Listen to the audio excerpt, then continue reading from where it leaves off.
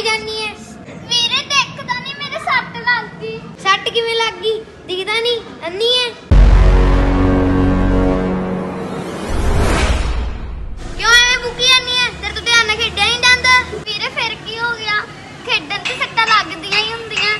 ਤੇਰਾ ਤਾਂ ਆਹੀ ਕੰਮ ਐ, ਪੜ੍ਹਾਈ ਤੋਂ ਡਲਦੀ ਜਾਣ ਕੇ ਸੱਟਾਂ ਖਾਨੀ ਐ। ਐਵੇਂ ਬੋਲੀ ਜਾਂਦਾ ਦੇਖ ਤਾਂ ਲੈ, ਮੇਰੇ ਕਿੰਨੀ ਸੱਟ ਲੱਗੀ ਆ। ਕਿਉਂ ਮੈਂ ਕਿਉਂ ਰੇਖਾ, ਮੈਂ ਦੀ ਸੱਟ ਠੇਕਾ ਲਿਆ ਹੋਇਆ?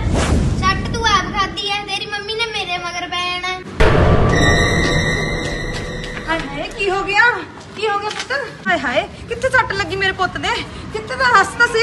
ਮੰਮੀ ਘਬਰਾਓ ਨਾ ਮੇਰੇ ਮਾੜੇ ਜਿਹੇ ਗੋਡੇ ਤੇ ਸੱਟ ਲੱਗੀ ਆ ਗੋਡੇ ਤੇ? ਹਾਏ ਹਾਏ ਮੇਰੇ ਓਹੋ।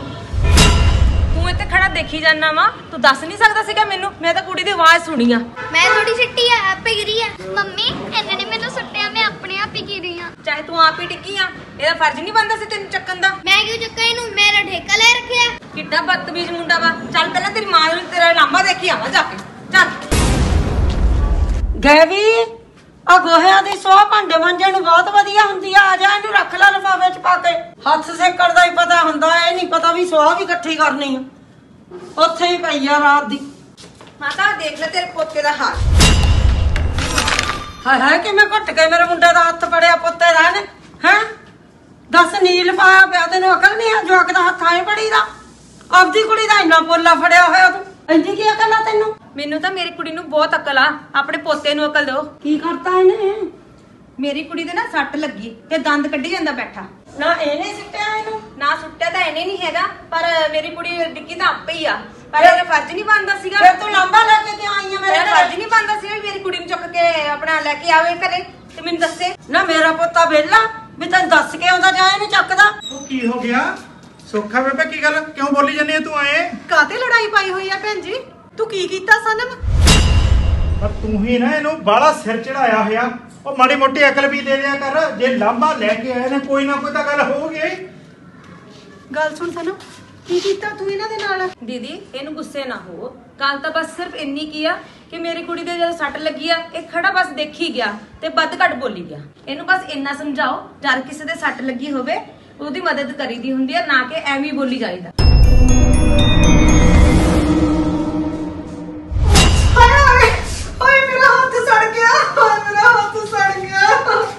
ਕੀ ਹੋ ਗਿਆ ਤੈਨੂੰ? ਕਿਵੇਂ ਤੇਰੇ ਹੱਡ ਪਾਉਣ ਲੱਗੀਆਂ ਉਹ ਮੈਂ ਤੜਕਾ ਲਾਉਂਦੀ ਸੀ ਮੇਰੇ ਹੱਥ ਤੇ ਗਰਮ ਗਰਮ ਤੜਕਾ ਪੈ ਗਿਆ।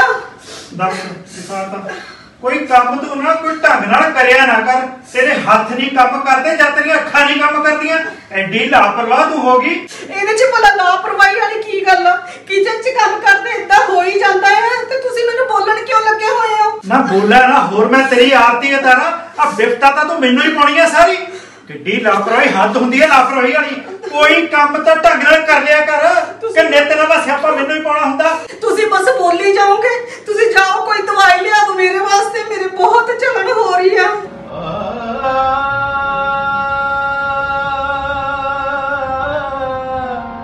ਗੱਲ ਹੈ ਵੀ ਕੋਈ ਨਾ ਕੋਈ ਤੂੰ ਮੈਨੂੰ ਨਿੱਤ ਨਵੀਂ ਬਿਫਤਾ ਪਾਉਣੀ ਹੀ ਪਾਉਣੀ ਆ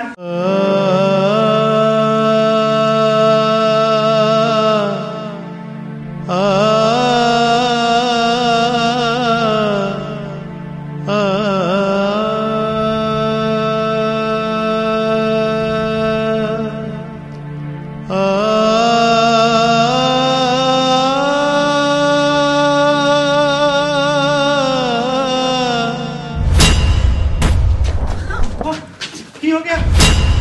ਦੱਸ ਆ ਫੜ, ਮੈਂ ਜਨੂੰ ਨਾ, ਤੇਰੀ ਮੰਮਾ ਵਾਸਤੇ ਪਾਣੀ ਲੈ ਕੇ ਆਇਆ। ਫਿਕਰ ਨਾ ਕਰ, ਹੁਣੇ ਤੂੰ ਜਲਦੀ ਠੀਕ ਹੋ ਜਾਏਗੀ।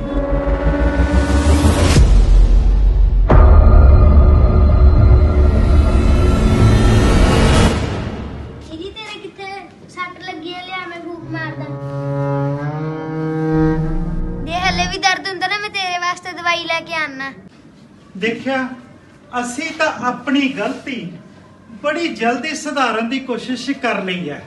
ਪਰ ਹਰ ਮਾਪੇ ਨੂੰ ਜ਼ਰੂਰ ਆਪਣੇ ਬੱਚਿਆਂ ਨੂੰ ਇੱਕ ਚੰਗੀ ਸੇਧ ਦੇਣੀ ਚਾਹੀਦੀ ਹੈ, ਆਪਣੇ ਆਪ ਨੂੰ ਇੱਕ ਵਧੀਆ ਉਦਾਹਰਣ ਬਣ ਕੇ ਉਹਨੂੰ ਦਿਖਾਉਣਾ ਚਾਹੀਦਾ ਹੈ। ਕਿਉਂਕਿ ਬੱਚਿਆਂ ਦੇ ਮਾਪੇ ਉਹਨਾਂ ਦੇ ਪਹਿਲੇ ਟੀਚਰ ਹੁੰਦੇ ਆ। ਬੱਚੇ ਅੱਧ ਕੀੜੇ ਫੁੱਲ ਹੁੰਦੇ ਨੇ ਮਾਪੇ ਆਪਣੀ ਲੜਾਈ ਕਰਕੇ ਬੱਚਿਆਂ ਨੂੰ ਉੱਥੇ ਹੀ ਨਾ ਰੋਕਣ ਉਹਨਾਂ ਨੂੰ ਪੂਰਾ ਫੁੱਲ ਵਾਂਗੂ ਖਿੜਨ ਦੇਣ ਤਾਂ ਕਿ ਉਹਨਾਂ ਦੀ ਜ਼ਿੰਦਗੀ ਸੁਧਰ ਸਕੇ। ਜੋ ਪੇਰੈਂਟਸ ਦਾ ਅੱਜ ਹੈ ਉਹੀ ਬੱਚਿਆਂ ਦਾ ਆਉਣ ਵਾਲਾ ਕੱਲ ਹੋਏਗਾ। ਤੇ ਬੱਚਿਆਂ ਨੇ ਉਹੀ ਅਡਾਪਟ ਕਰਨਾ ਜੋ ਉਹਨਾਂ ਦੇ ਪੇਰੈਂਟਸ ਕਰਦੇ ਨੇ ਜਾਂ ਉਹਨਾਂ ਨੂੰ ਸਿਖਾਉਂਦੇ ਨੇ। ਜੋ ਆਪਾਂ ਬੀਜਾਂਗੇ, ਉਹ ਹੀ ਵੱਢਣਾ ਪੈਣਾ। ਬੱਚਿਆਂ ਦੇ ਰੂਪ ਦੇ ਵਿੱਚ ਚੰਗੇ ਬਣਾਵਾਂਗੇ, ਬੱਚੇ ਚੰਗੇ ਬਣਨਗੇ। ਜੇ ਘਰੇਲੂ ਕਲੇਸ਼ ਦੇ ਵਿੱਚ ਆਪ ਹੀ ਪਏ ਰਹਿ ਗਏ, ਤਾਂ ਬੱਚਿਆਂ ਦਾ ਸੁਭਾਅ ਵੀ ਨੇਚਰਲੀ ਕੜਤਨ ਭਰਿਆ, ਗੁੱਸਿਆ ਭਰਿਆ ਹੋਏਗਾ।